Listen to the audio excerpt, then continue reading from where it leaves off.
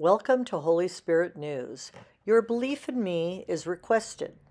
Everyone has a belief system as they go through life. Some believe in God, others in nothing, and some in religions that rely on your belief of an idol. Idols have been part of the belief systems of many over the years. Idols would be carved, made of metal, plaques, stones, ornaments that represented false deities. I am the only creator and architect of the universes.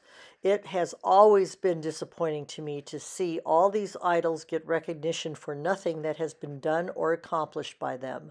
Some have multiple gods they believe in. The only truth is there is one creator. I am. Your belief in me is all you need for salvation. All other roads lead to nowhere.